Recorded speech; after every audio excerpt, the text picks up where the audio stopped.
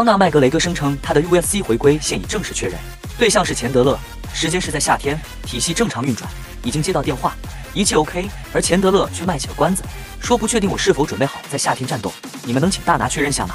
肖恩斯特里克兰对骑摩托车的人士进行了评价，骑摩托车就像是与魔鬼签订了契约，我永远会超过一百，我永远会使用任何车道，人行道或紧急车道骑行。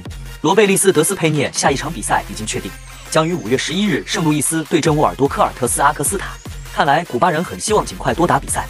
迈克尔比斯平认为内特迪亚兹在拳击场上对阵豪尔赫马斯维达尔时也会遭受同样失败的命运。马达与小麻的首次交锋，在二零一九年十一月 UFC 两百四十四的首次 BMF 争夺战中，小麻因伤在第三轮被医生终止了比赛。马达速度更快，力量更强，技术也更强，这次看不出有什么太大变化。德里克斯杜普莱西斯校正了黑龙。还让对方做个言出必行的人。杜普莱西斯在 UFC 三百上拒绝了与阿德萨尼亚的一场怨恨之战，理由是他在对阵肖恩斯特里克兰的冠军表现中腿部受伤。由于有些伤病，我正在恢复并休息一下。但今年我想再打两次比赛，对我来说这将是理想的。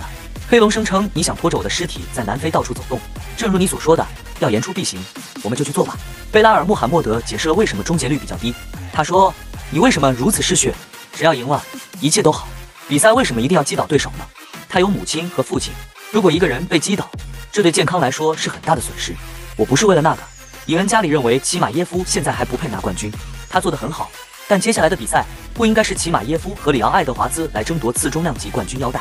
印度的普里亚夏尔马已准备好参加五月十八日在中国举行的亚洲精英之路第三季。彼得岩与宋亚东的比赛中受伤，如今手术做得很成功。